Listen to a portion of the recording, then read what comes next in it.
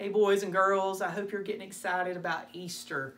Today, we're going to look at the word Easter, and we're going to use each letter in the word Easter to help us remember the Easter story so we can share it with someone else. So, the first letter in the word Easter is the letter E. E is for everything.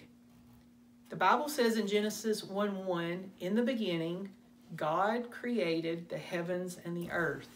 He created everything, including the sun, the moon, the stars, plants, trees, animals, and man.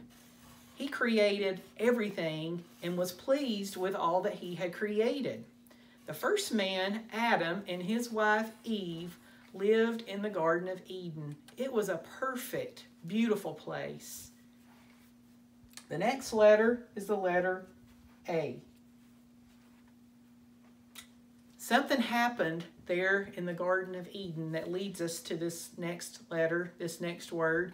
A is for all. In the Garden of Eden, Adam and Eve disobeyed God. They sinned. And as a result, all of us are born sinners. The Bible says in Romans 3:23, all have sinned and fall short of the glory of God. That sin separates us from God because God is holy. The next letter is the letter S. S is for Savior. God had a plan.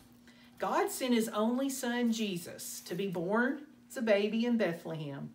He lived on this earth and he lived a perfect life. He didn't sin. God sent Jesus to be our Savior. Jesus died on the cross for our sins. Only He could do that. T is for tomb. After Jesus died, He was buried in a tomb. They placed a large stone in front of the tomb. E is for empty. On the third day, women went to anoint Jesus' body. And when they got to the tomb, they found the stone had been rolled away and the tomb was empty. R. The letter R is for risen. The angel proclaimed a great message on that first Easter morning. He is risen. He is not here. He is risen, just as he said. That was the wonderful news that the women received on that first Easter Sunday. So I want you to remember that Easter is not about the eggs and the candy. Easter is all about Jesus. Jesus died on the cross because he loved us. He loves us today. And Jesus arose on Easter morning and he is alive today. So I hope you'll remember the word Easter in these key words. It'll help you remember the story and it'll help you remember it in a way that you can share it with someone else. E is for everything, A is for all, S is for Savior, T is for tomb, E is for empty, and R is for risen.